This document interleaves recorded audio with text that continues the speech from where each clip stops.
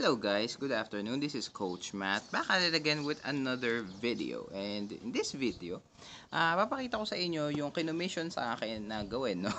na pinturahan. So, ito siya, no? This is actually used in the office, no?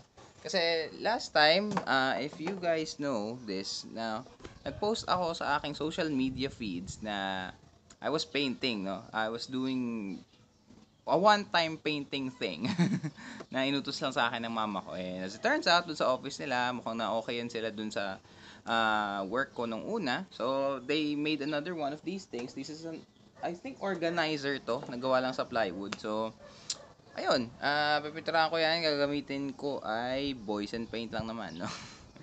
so, yun. Uh, wh- when did I learn to paint? Para sa mga curious dyan, nung bata pa ako. Kasi I was observing our house being remodeled, no? And being painted obviously is one part of that project. And dahil doon, no, natuto ako kung paano mag-paint kasi curious talaga ako nung bata ako. So I ended up asking a lot of questions from my adult counterparts dito sa bahay kasi I, I grew up in a household wherein ako lang yung bata, no? At that time, kasi ang mga siblings ko noon ay matatanda na, okay? The age gap is so wide for me and my sister that it's actual generation na leap, no? 16 years ang difference namin ng ate ko. So, ayun. And 12 years naman sa kuya ko. So, parang, technically, parang anak na ako ng isa sa kanila. so, yun. Yun yung gist nun. But anyway, no, uh, growing up with that kind of uh, setup or household, it taught me a lot of things at an early age, no? Um, just applying them wasn't really the, uh, tayo I wasn't given the chance. Should I say that? Or, hindi, siguro dahil tinatamad lang din ako at that time na i-apply yung skills na yon and the trust wasn't there yet. Pero, ngayon, na that I can actually do a lot of things in the house. And, yes, kasi since nan- mainly ako lang naman na nandito sa bahay, I can do home care stuff. That's why if you're gonna check out my channel, no, merong isang section dyan, yung sa playlist ko, na home care videos, no. Uh, nag-repair na ako ng screen door, nagpintura na ako nito. I actually painted yung pillars dun sa likod, yung parang bubong namin dun. Pero that's such a long video to make and honestly, if I'm gonna do that, it's gonna be hard to edit. so, yun. And paint fumes aren't really my thing, so I do it mainly sa open spaces. Dahil ako ay may allergic rhinitis, as you know. So, magdo-double mask ako nito. Maliligo muna ako before I do it kasi ang init. And the, for me, painting really, for the best time to paint is actually early in the morning. No? Yung tipong, yun yung unang task mo para matapos na kagad. Pero the next best thing is in the afternoon where it's hot at mabilis natutuyo yung yung paint on the canvas and you can add another layer to it once it's done. And you can leave it overnight for it to actually dry off. Okay? So, I don't think na mayroon akong magagawang montage dito. Kasi yung naiisip kong montage dito is I, I'm in need of another person to film it. Kasi parang ito toss around ko to. Pero, na, tignan na lang natin kung ano yung mabubuo natin. Kasi naka-prepare dito yung 3 camera setup po. Kung nakikita nyo, nandiyan yung tripod. Nandito yung isang tripod na maliit. And then I have my iPad. So, ayun, tignan lang natin kung ano mabubuo natin. Na, not expecting too much is the best thing that I have learned. Kasi in life, when you expect too much out of it, you end up what? Disappointed. Alright, so let's go. Let's have a work in progress and let's see how things go. Bye guys.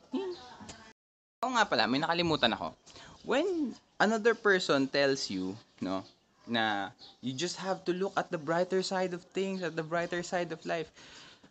That's called toxic positivity. Okay? Kasi titignan mo lang yung brighter side without actually acknowledging the dark sides of uh, the world or the dark sides of life. Mahirap yon kasi it leaves you blind to the true effects of the world, of the of the systems of life, no? It leaves you behind with a skewed perspective of just looking at the things that are positive.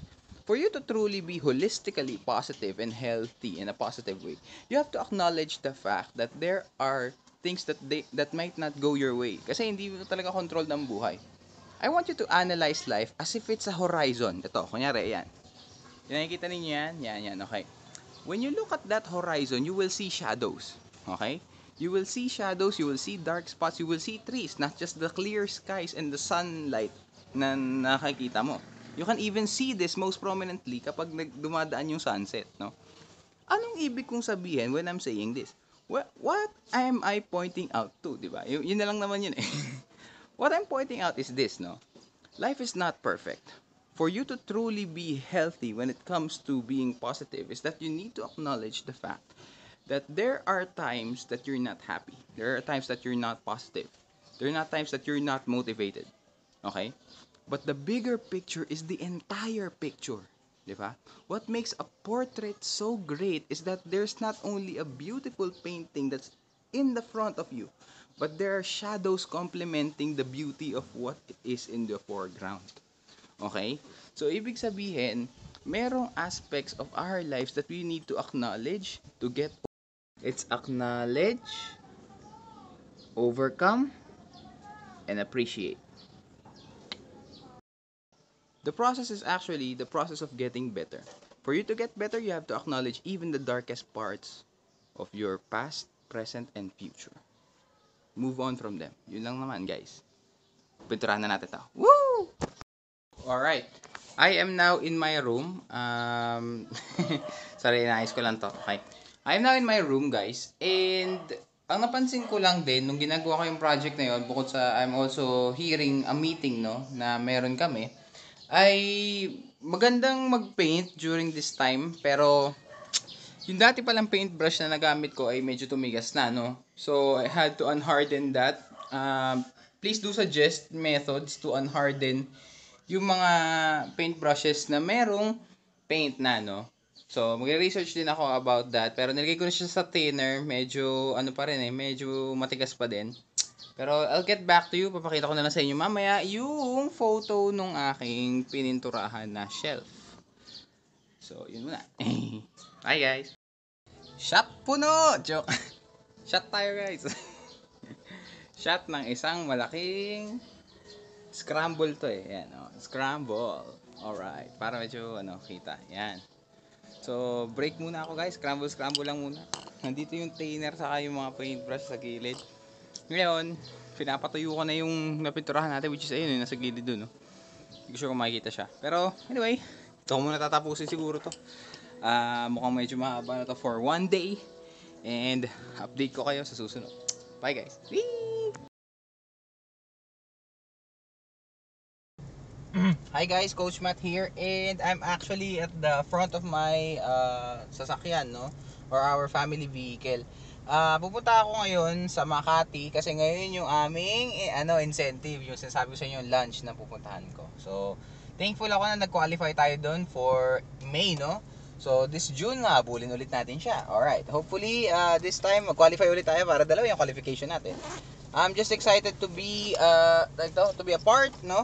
of this lunch din incentive kasi di naman lahat ng advisors from our unit ay nandun. So, in a way, uh, ano rin siya, kumbaga select group, no? And I'm also excited to meet my accountability partners live kasi usually Zoom meetings lang kami. Ah, ngayon medyo press kami sa oras kasi si ate ay nagpa-deliver pala ng something sa bahay. Pero again, uh, shoutout sa ate ko, salamat pa din, syempre. Ah, but, ngayon, dahil hindi pa ako pinapayagan ng may-ari nito, ng kotse nito, na mag-drive mag-isa, kasama ko ngayon si Kuya Henry, at siya ngayon ay pumunta muna sa bahay namin para i-deliver yung isang susi. Kasi, anong oras na eh. So, yun. Ako ay magda-drive siguro hanggang dyan lang sa signal muna for now nung uh, depende dep- depende sa assessment namin sa road kasi kailangan may oras ako habol dun eh pero if ever makakapag-practice ako mag-drive baka yun ay pauwi na this is also the same day no Uh, this is also the same day as yung swimming namin nila Evan at ng mga college friends ko. So, ang day na to talaga ay napaka-busy, no? Kung natandaan mo kanina, yung pinanood mo, no? Yung, pinanood mo ay uh, kinapunan. Wait lang.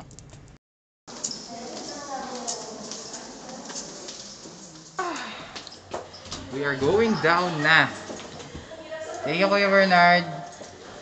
And, well, uh, as I said earlier, na nasa kotse ako. Uh, ako yung mag dito sa office. But unfortunately, naiwan ko yung tripod ko. So, phone ko na lang yung gamit ko and nahawakan ko na lang siya. And hindi rin ako nakapag-vlog dun sa loob kasi obviously wala tayong permission and may logo yun ng company namin. so, hindi ko siya malalagay as content. Kamusta kayo guys? Sa travels nyo? Okay naman. Kayo naman? Shopping Wala kayo? Lazada. Galore. Travel Travel galore. Ayun, so Hello. kasama ko. Ay, Coach Matt in the house. Ay, mga ka-office mates ko guys. Lunch na rin. Next month ulit, joke. Part-time ka lang din pag may full-time work.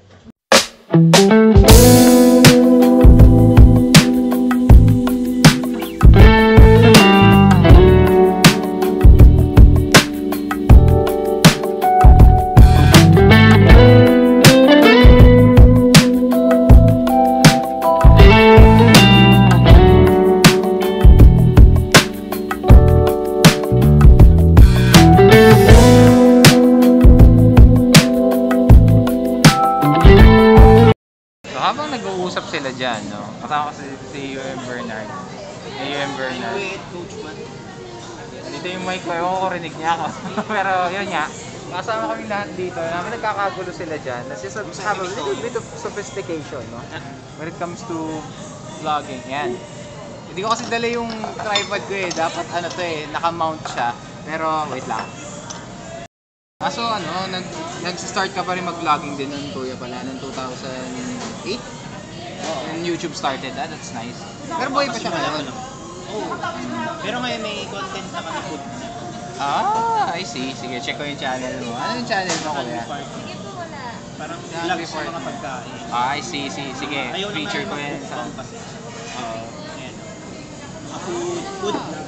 Food vlogs. Alright, Hindi nice. lang kami nag ano, hindi lang kami nag uh, eh, mga lutong ano. Lutong, lutong bahay. Ano ba yan? Lutong ulan. Start to 2020. Pero yung mga dati namin, sobrang tagal na kasi. nice. Check nyo yung channel niya, guys. So, yun. Yun pala. Nag-ano ka rin pala. Na... Ay, sorry, sorry.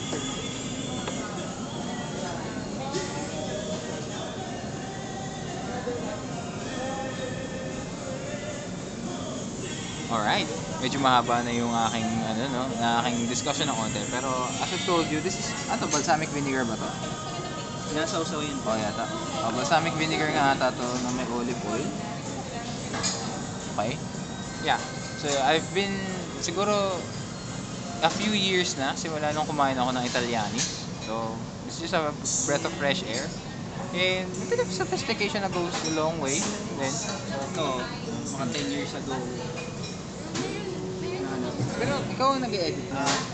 sa Oh, thank you. Alright, hi guys. I am actually in Ayala North Exchange right now, as you can see. Dito kami kakain sa loob ng Italianis. And lumayo muna ako dun sa group namin for a while to just to appreciate how good this mall really is, no? Number one dito is, gusto ko i-highlight yung idea na there's greenery everywhere. And nakakamiss lang din pumunta na Makati from time to time, although it's not really of, uh, you know, something that you will miss out. But then again, I was walking these exact same streets din a few years ago, no? For when I was looking at my corporate job and now I'm handling my own business and yeah, it feels great to just be here in uh, in Makati City. Pero pagkatapos nito, alam niyo naman kung anong gagawin namin, di ba? Uh, this is actually a get together with me and my fellow awardees sa loob. And isa sa pinaka okay na experience for me is to get the pin. Akala ko suot ko siya. Pero yung pin na yon is ano siya, Life Club pin na binigay sa akin ng UM ko for getting the Life Club star na one star last year. So yun lang, balikan ko kayo mamaya pagkatapos nung kainan namin. And yun, medyo unstable guys, sorry kasi hindi ko dala yung tripod. sorry. Here we go.